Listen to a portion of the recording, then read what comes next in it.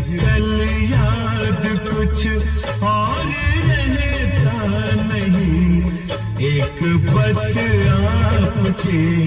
याद आने के बाद आज कल याद और नहीं। एक याद